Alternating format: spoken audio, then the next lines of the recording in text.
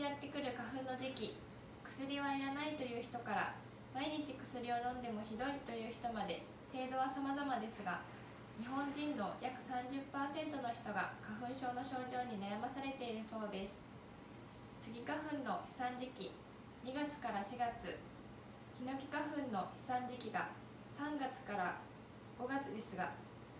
どちらかだけより両方に反応する方が多いので杉とヒノキの飛散時期が重なる。3月4月は最も症状が悪化しやすいそうです。メガネやマスク鼻うがいなどで対処している方が多いと思いますが鍼灸治療も効果的なのをご存知ですか？効果の出方には個人差がありますが鍼灸治療をすることで症状が和らぎ花粉シーズンが過ごしやすくなります。